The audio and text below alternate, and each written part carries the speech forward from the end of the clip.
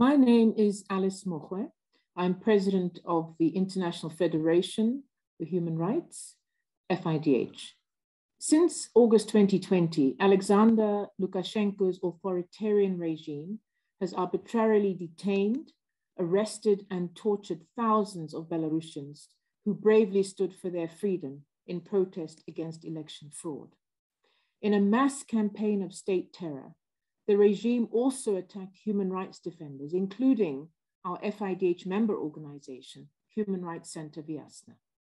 These attacks began one year ago on the 17th of September with the arrest of Viasna volunteer coordinator Marfa Rabkova. Viasna's leaders, who are also the current and former vice presidents of FIDH, Valyantin Stefanovic and Ales Bialiatski, have been imprisoned for over two months now.